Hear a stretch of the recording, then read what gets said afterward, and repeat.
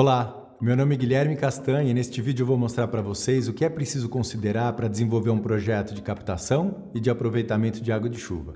Captação de água de chuva é uma prática bastante antiga, não é nenhuma novidade, não estamos inventando a roda agora, é algo feito literalmente há milhares de anos.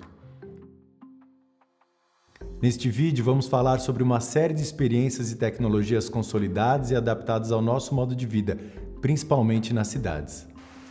E por que este vídeo está pensado no contexto da cidade? Porque a qualidade da água de chuva está relacionada à qualidade do ar.